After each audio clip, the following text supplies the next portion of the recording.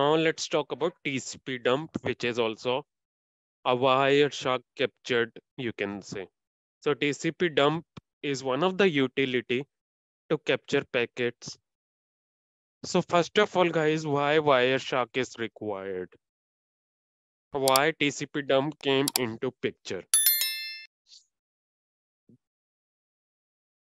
Now, if I talk about this TCP dump, why it came into picture?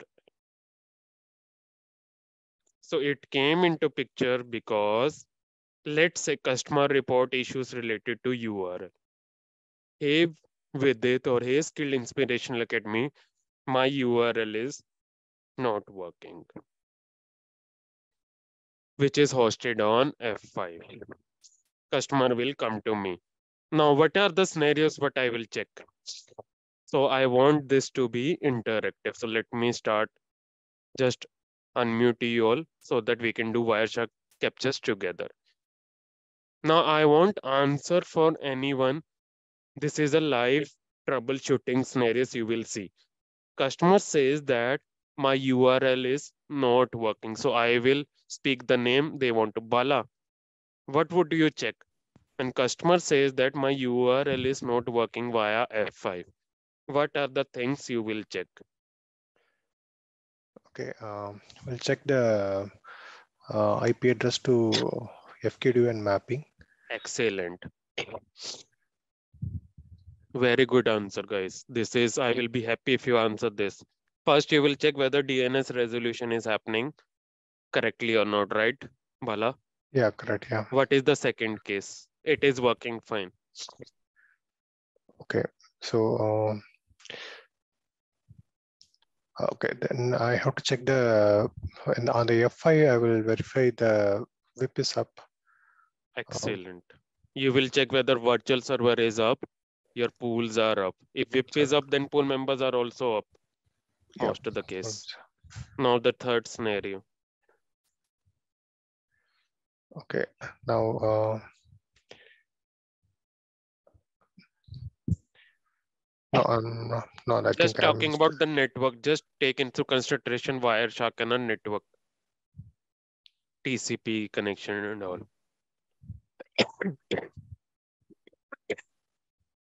What you will check next? IP reachability. Uh, Yeah. now DNS is up, your VIP is up, your pool members are up. Third scenario, what you will check? Okay, I'll check the server applications are up. Um, That is your con uh, that I have checked through this. pool itself. Okay. Just give me. Fazil, what you will check? What is the next scenario, Fazil, you will check? You can unmute yourself so that you can understand Wireshark. This is important. Fazil, Uh, can you sorry, actually. I was on call with my own emergency. My Oh, company okay. has some problem. Okay, okay, no problems. Any uh, Abhishek Bansal, can you unmute yourself? What you will check next? See, guys, let's make it interactive because this will help you in even in your production environment. If there is any firewall, we will check whether it's whitelisted or not. Excellent. Your rules, firewall rules also. Next thing. See I will for front, the source IP and uh, check the statistics whether I'm having any connection from that IP. excellent. So you need to check whether F5 is receiving traffic or not, right? When client is connected to VIP, even VIP is up. Maybe F5 is not getting traffic, right? You want to make sure that your virtual server is receiving traffic and forwarding to your pool member. That's what you want to say? Uh, yes, like uh, that is what I try to. Uh, Yes, sir. That is what you need to check, right? You want to make sure that yes. traffic is coming to F5, right? To process through F5. If it is not coming, then it can be issue anywhere in mid middle. Uh, yes. What next you need to check? Now traffic is receiving on F5. Now I am saying that F5 is receiving a traffic, but F5 is not forwarding to pool member. This is the scenario I am saying to you guys. F5 is client to F5 connection is building up, but F5 is not building a connection with server. How you will check it? Client is making a three-way handshake successful, but F5 is not making a three-way handshake with server. I'm getting a reset from server. How you will check these things? Then I will do Uh, either packet capture or TCP dump uh, in egress interface. So there comes your Wireshark capture. When you have done the basic checks, but still you're not able to find the issue. Then what is the component which comes into picture? TCP dump. So what you will check in TCP dump? When you take a Wireshark capture, what are the things you will check through Wireshark? Anyone? Probably this a three-way handshake will should happen between uh, uh, F5 and uh, the, Now uh, let's say members. this is an HTTPS connection, okay? HTTPS, I'm accessing a URL on https sianets.com. Now what you will check? You have checked everything on web pool members. Now you have done the capture, you have taken Wireshark. For doing Wireshark capture, there is a utility called TCP dump, which makes sure that you can check whether you're receiving packets in and out. Okay, first uh, that uh, TCP handshake will be checked, then SSL handshake. Uh, needs to be Excellent. First, you will check TCP handshake. Now, guys, I will say that my one question here to you guys. Customer is accessing 192.168 1.45 that is bind to this. But this virtual server is not there on F5. What issue I will see on Wireshark? Do I need to have a virtual server of a particular URL? If it's not there, what I will get it? AF5 will reset it. Correct. F5 is by default what device? Denied device. Until you have a listener configured, F5 will not process a packet. Any confusion on this?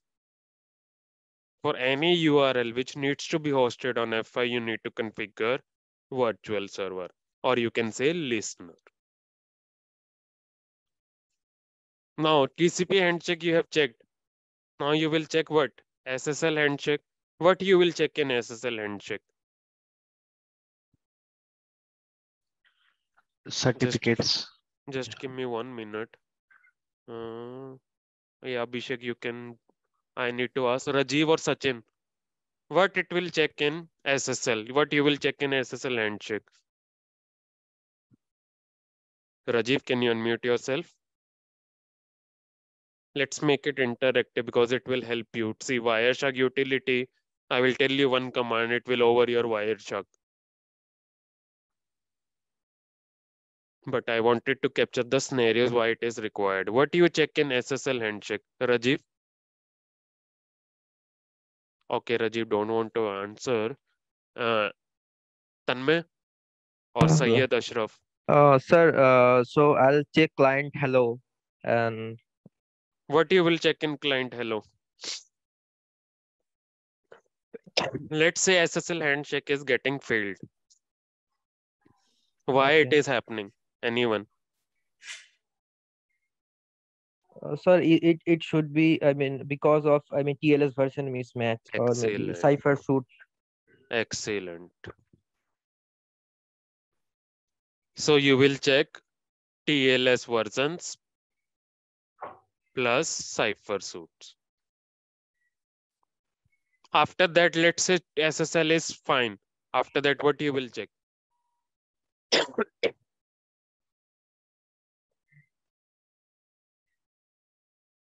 Tanmay, Um, after SSL, F5 is which device? It is the full proxy. uh, yes, So you will check F5 to server connection or not? uh, yeah, yeah. Uh, so backend connection, we, we need to check. Will you check whether server is returning traffic or F5 or not? Uh, right, sir. Yes, If it's an HTTP packet, will you check whether you're getting get packet what you are receiving or not? Correct. uh, correct, sir. Sometimes you will see when you go here, I will show you one scenario. You will go to virtual server. Go to login into this. Go to pool. Go to particular pool. Sometimes what you will see is you will see in packet, but not out packet. You will see that in packet is increasing, but out packet is zero. So it can be issues when out packet means that F5 is receiving a packet from client. Pool member is receiving a packet, but it is not sending further to your server. Maybe it can be SNAT issue. It can be routing issue. So in that case, you need to check the routing things, whether server gateway is F5 or F5 is reachable. See, if pool members are up, mostly the scenario will say that, right, okay, it's fine. But it can be scenario your gateway is different or something. I have seen even your pool member is up, but still F5 is failing with the pool member. So there can be, so one scenario is slowness issues, guys. When someone reports slowness issues, what can happen? Anyone wants to answer this? URL is working fine, but it is slow. What can be scenario in this case? Any two use cases for slowness issues in F5?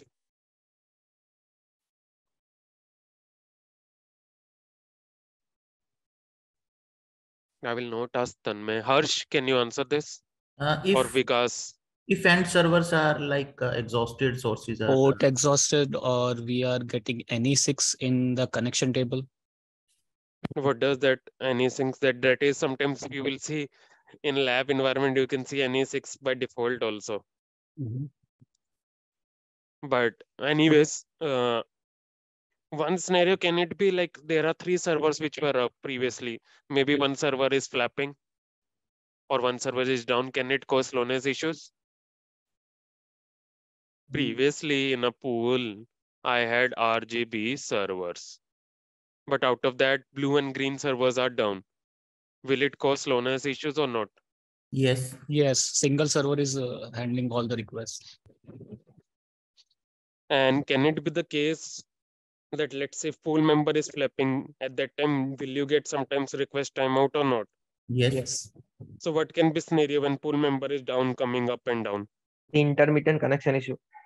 Now what you will check why it can happen? Will it be due to server side or it, it can be from F5 side also?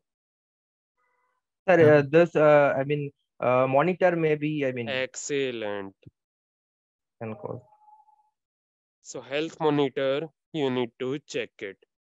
So that comes under logs file. I will tell you how to check whether monitor is flapping or not. So there is a login feature available. You can check it. So you go here, local traffic pool, members.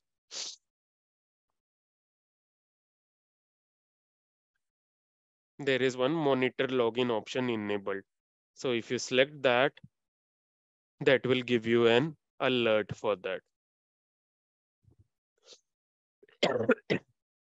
So that I will come mm, right now. So how all the logs you will find in this related to monitor in this var log LTM file that I will come into logs. Maybe next class I will do it. Now, how to take a Wireshark capture. So let's come across that. So in our case, we have network interfaces. I want to capture only Wireshark capture on my in what I will say external interface. I want to capture all my traffic of external interface, not internal interface. So hmm. what you need to do? So there is a command TCP dump minus i 1.1. This will only capture traffic on a single interface. So I'm just telling you some filters which are important. You, you can get on Google also, but I'm telling you the main. This is to capture from a particular interface. Now I want to capture from any interface, whether it's an external or internal. So this is the command TCP dump minus i 0 dot 0. What does it represent, guys? Anyone? 0 dot 0 interface. So any. Can I say all interface or any interfaces? Yes. Because F5 format is like 1.1, 1.2, 1.3. This one is a slot, this one is a port numbers. Now I want to capture traffic on a particular IP address. Can anyone tell me what is the syntax for that? I want to capture a traffic for one virtual IP. This is my virtual IP. What should I enter? I want to see traffic coming to this IP and going out from this IP. So this is the command TCP dump host, then virtual server. Any confusion so far on this? See, the big command I am segregating into small commands so that it will be easy. But in you need to remember one command only when you take a capture. But to segregate it, I am just dividing. So when I run the command, right, I enter this command TCP dump minus i 0 dot 0, then host IP address or host server IP. What does it mean? Why am I entering this command? This IP, this IP, or this IP? Why? So that I can capture end-to-end packet because F5 is a full proxy architecture. But here, I was also mentioning something like NNNP.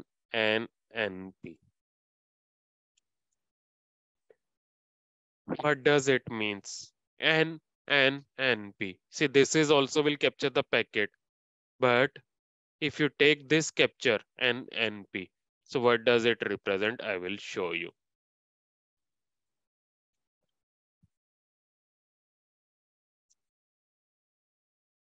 This is very, very important. This comes into picture when you need to type capture internal packets also, inside also. When you open a cage, generally they will ask you this captured. So see. Basically, this is to capture TCP dump. S is for size, any size, zero packet. I is an internal interface. Then there is a command N, N, N. N represent low details, low and mediums, and low, medium, high. Maybe this capture might not be useful for you, but when you open an F5 case, let's say you're not able to resolve the issue. In that case, F5 captures the packet like this. So what does it helps them is it will give you details related to flags like ingress flag, slot number, what is the type of interface, what is the VIP it is taking, what is the port. So it will enter your flow. Whole flow, it will give you an idea. So that is why I have always mention this command. Maybe this is not helpful to me, but see, this will helpful to F5 technical support. See, some details we cannot capture inside our engine, but they have a detail, they have a KB articles for that. So you can refer this article in future cases.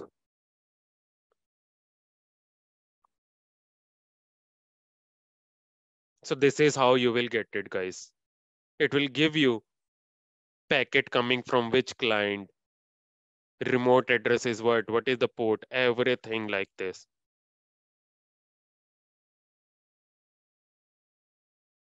And S0 represent to capture the whole packet. So this is how you capture TCP dump minus S0, then interface name NNN and minus W. Guys, what does minus W represent? Why hmm. I write minus W in TCP dump? Anyone? So write the output to the uh, I mean uh, uh, folder uh, we can name. Why I need to do this? Uh, because sir, I need to particularly save this in my I mean uh, folder to I mean fetch this uh, afterwards. That To is open fine. that One file answer is in. Wireshark. Excellent. Wireshark can open the packet using which for format? Cap. PCAP. Correct. That is why you need to write. Otherwise, if I write this one, what will happen? I will show you. If I generally keep this TCP dump minus I 0 dot 0. It is clumsy, right? You're not getting much. See, according to me, I'm not good in this one until I capture on Wireshark. This is how you will get it. So to capture or write it, I want to capture using write pcap format. So this is how you can do it.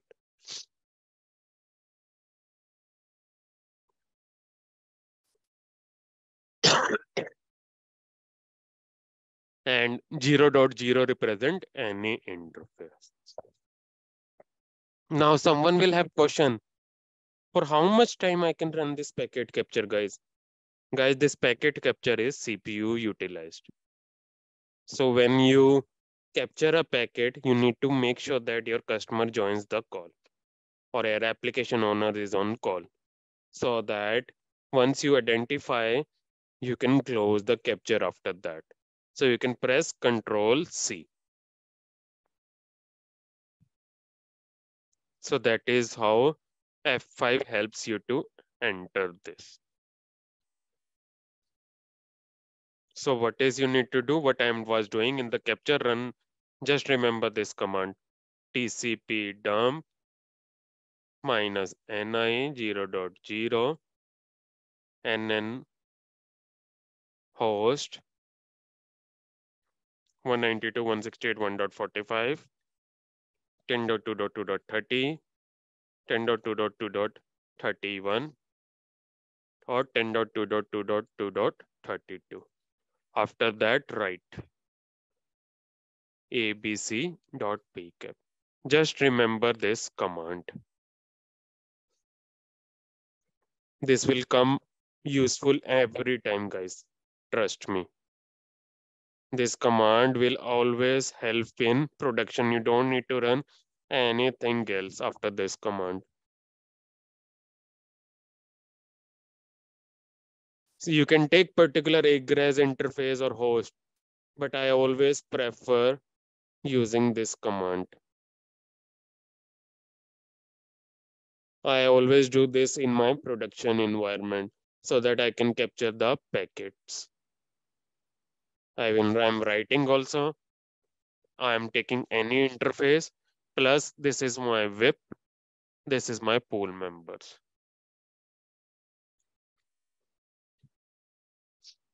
Any question guys on this? This command you need to run.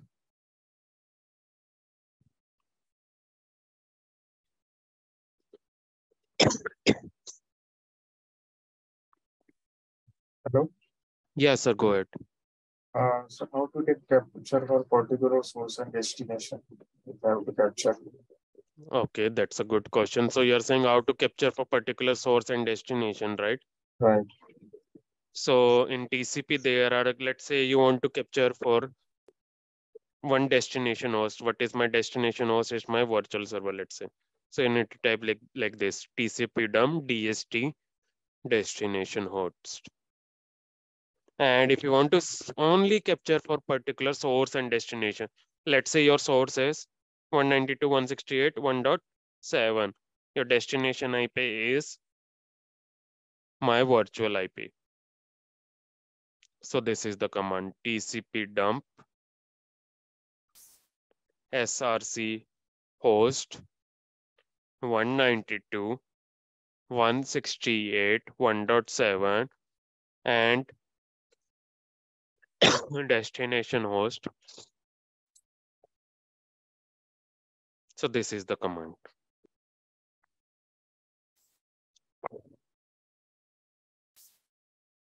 Okay, sir. Okay, sir. Thank you. And after that, guys, once I save it, see, when once you start it, guys, you need to access.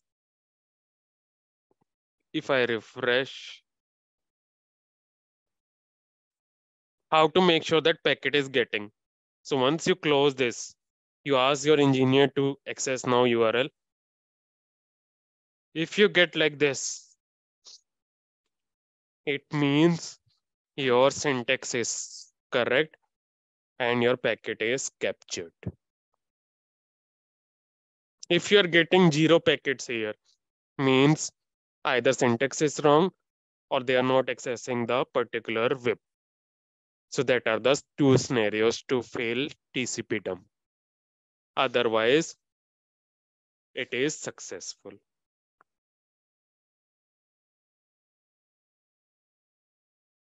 How to take this file, guys? Anyone?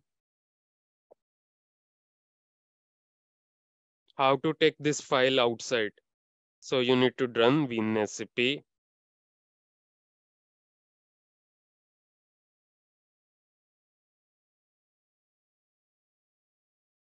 You need to go here. And you need to take into your desktop because that is saved in your F5 directory. Now I want to take into my external desktop to view it. So I will log in through WinSCP slash root where then temp.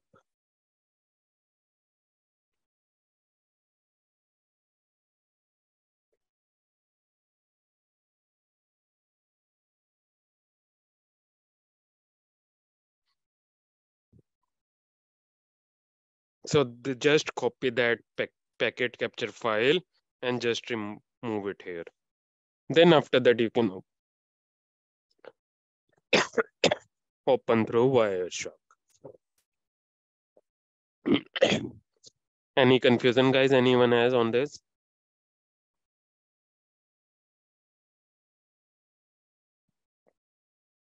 So this is how you take TCP dump guys. All clear guys? Tanmay, Kavi, other people. Yes, yes, yes. uh, Vidit. But Uh, sir, let me I mean, ask one Question, uh, you can, uh, uh, like, see, suppose if number of URLs are there, now we are uh, searching for one particular URL, right? So instead of, yes, this is correct that I know, but I know, but if, if there is hundreds of URLs are there, if we want to check only particular URL, we need to do all these things, or, or we can other options are there, like in local traffic filtering the, uh, from the F5 itself. See, first you need to get your IP, right? Which IP? See, when customer report issues, what you ask first Yeah, we can uh, like that. What we are doing is that I, I'm- never ever gone through this uh, file. What we are doing is that we will take that uh, particular IP from uh, uh, the customer who's using from the. Uh, It's not about client. FI, your approach is correct. First of all, you ask what thing to them.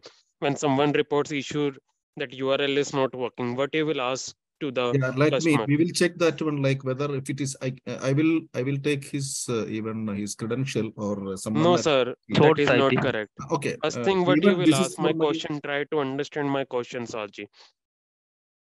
I'm saying that when customer report an issue that URL is not working, what is the first question you will ask to him?